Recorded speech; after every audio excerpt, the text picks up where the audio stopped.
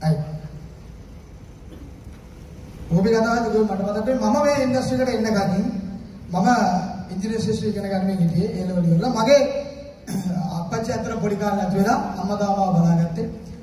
මම ගෙදර දැක්කා අපච්චි ඉස්කෝලේ ප්‍රින්සිපල් කෙනෙක්.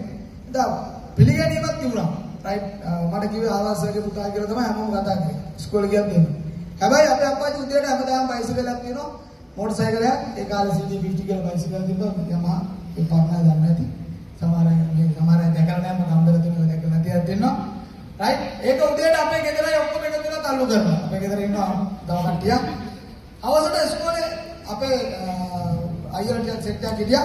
එයාලා එකතු වෙලා තල්ලු කරලා ස්ටාර්ට් කරලා දෙනවා. දැන් මේක තමයි ආර්ථික පසුබිම තිබ්බේ එහෙනම් අපච්චි අතන අතුණාට පස්සේ රයිට් සිටුේෂන් එක වෙනස් වෙන්න ගත්තා. ඊට පස්සේ මට තේරුණා අම්මා ගොඩක් මහන්සි වෙනවා. දැන් මම තීරණය කරා මම දැකලා තිබ්බේ එකම දේ ඉගෙන ගන්න ඕන කියන විතරයි. එහෙනම් හොඳට ඉගෙන ගන්න try කරා. එහෙනම් මම පළවෙනි පාර එක්සෑම් එක සක්සස් වුණා ඒත් අතහැරියේ නැහැ දෙවෙනි පාර කරා. ඊට මම ඉංග්‍රීසි ශාස්ත්‍රය ඉගෙන ගන්න අවස්ථාව ලැබුණා. අවස්ථාව ලැබුණාම අවුරුදු 18 පවුත් ටික මම තීරණය කරා මම මහන්සි වෙලා මුදල් හොයන්න ඕන කියලා. මොකද අම්මා සල්ලි හොයන්න මහන්සි වෙනවා දැක්කාම ඒක එච්චර බලාගින්න බැරි වුණා. ඊට පස්සේ මම කොළඹ ඇවිල්ලා ඒ යුගයේ මට මේ ප්‍රදේශය හරි පුරුදුයි. රයිට් මේ හැම මේ මෙතන තියෙන ගොඩක් ආයතන වලට මම ඇවිල්ලා තියෙනවා. පාර්ට් ටයිම් විදියට ඒ යුගයේ තිබ්බ ලංකාවේ තිබ්බ ඉගෙන ගන්න ළමයෙකුට කරන්න පුළුවන් හැම ආයතනයකට වගේ ගිහිල්ලා මම අහලා තියෙනවා මොනවද පාර්ට් ටයිම් විදියට කරන්න පුළුවන් කියලා. එහෙම ගිහිල්ලා අහලා බලලා වැඩ කරපු කෙනෙක්. රයිට් මම කම්පැනි වල නම් සඳහන් කරන්න යන්නේ නැහැ. මේ ඒ යුගයේ තිබ්බ කම්පැනි ගොඩකට ගිහලා මම පාර්ට් ටයිම් විදියට මොනවා හරි අලුතෙන් කම්පැනි එකක් ආවම මම ගිහලා අහනවා. මොනවද තියෙන ඔපචුනිටි කියලා. එහෙම වැඩ කරගෙන හිටපු කෙනෙක්. එහෙම වැඩ කරද්දී මට දැනුණ දෙයක් තමයි මම ඉංජිනේරු කියලා මට හම්බුණා මගේ සීනියර් ඉංජිනේර්ස්ලාත් එක්ක මට ට්‍රේනින් ඉන්න රයිට් ගාලා අවුරුදු 10 අවුරුදු 15 ඉන්න අය. හැබැයි මට පාර්ට් ටයිම් වැඩ කරද්දී මට තේරුණා තමයි සමහර අය ඉන්නවා රයිට් කිසිම දෙයක් එච්චර ලොකු දේවල් දන්නේ නැහැ. නමුත් හිතා ගන්න බැරි විදිහට රයිට් අර රැකියාවක් කරනවට වඩා මුදල් වෙන අය. එතකොට මට ඒ කාලෙම තේරෙලා තිබ්බා රයිට් ඊට වඩා වෙනස් දෙයක් ලෝකේ තව තියෙනවා කියලා. හැබැයි එහෙම හිත හිතා ඉද්දි තමයි මගේ යාළුවා මට ඇවිල්ලා කතා කරා වාට දුන්නේ නුරන්දු තියෙන මල්ලි ඔයා ගොඩක් මහන්සි වෙනවා. අපි නියම වැඩක් පටන් ගත්ත කියලා මට මේ ව්‍යාපාරය හදන්න දුන්නේ.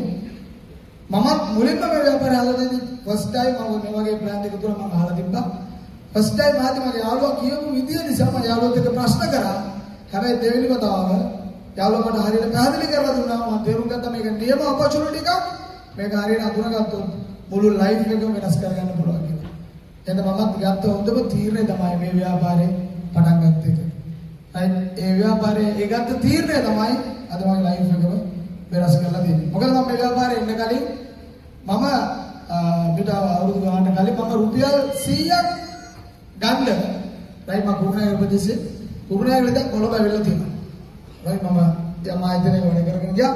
පාර්ට් ටයිම් විදිහට ඒ ඇවිල්ලා මගේ වැඩක් තියෙන පවර්ලා තියෙනවා. ඒ වැඩේ කරාම කොළඹ ඇවිල්ලා වැඩේ ඉවර වුණාම මට රුපියල් 100ක ප්‍රොෆිට් එකක් තියෙනවා. ඊය දැන් අරලා. රයිට් ඒකට මම කුරුණෑගල ඉඳන් බස් එකේ කොළඹ ඇවිල්ලා තියෙනවා. රයිට් එතකොට මම උදේට මහන්සි වෙලා වැඩ කරපු කෙනෙක් මට අවශ්‍යනේ මහන්සි වෙන එක ප්‍රශ්නයක් නෑ. රයිට් ජීවිතේ වෙනස් කරන්න පුළුවන් ඔපචුනිටි එකක් තියෙනවා කියලා. එහෙම එකක් මම හොය හොයා ඇවිද ඇවිද රයිට් මම පුළුවන් තරම් ගන්න ඒවා කරා හොයලා බලනවා. රයිට් මේ ප්ලෑන් එක ආදි තමයි මට මගේ ජීවිතේම මට දවුන මුළු ලෝකෙම මම හිතුව හැම දෙයක්ම ඇචීව් කරන්න පුළුවන් කියලා. රයිට් එසා අතරම සතුටු වෙනවා. අද ඔයත් එක මේව දකිද්දි මේ පිරිසේ වාඩි වෙලා රයිට් මමත් එක දවසක ඔයා වගේම රයිට් සිම්පල් විදියට මේ ව්‍යාපාරේ පටන් ගත්ත කෙනෙක්.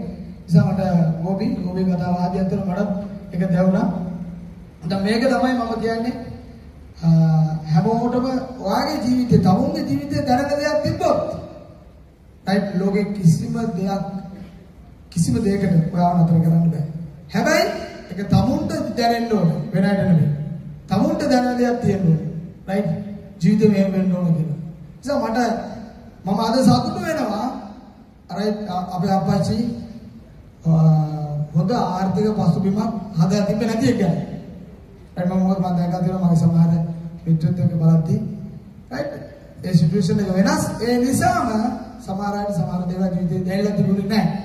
රයිට් මගේ සිටුේෂන් එක වෙනස් නිසාම මට ඒක දැනුන නිසා මට පුළුවන් වෙලා තියෙනවා එතනින් ඉස්සරහට එන්න රයිට් නිසා මම රයිට් ඔයාලට කියන්න දෙන දවස එක්කෙනෙක් හරි ඉන්නවා නම් මෙතන තමගේ ජීවිතේ දැනෙන හේතුවක් තියෙන රයිට් ඔයාලට අද තේරෙයි ඔයාගේ මුළු ඇඟටම එනර්ජි එක එන දවසක් කියලා. මුළු ලංකාවටම ඔයාලට කතා කරන්න පුළුවන් අවශ්‍ය එනර්ජි එක වැඩසටහන ඉවරෙද්දී ඔයාලට ඇඟ ඇතුළට එයි.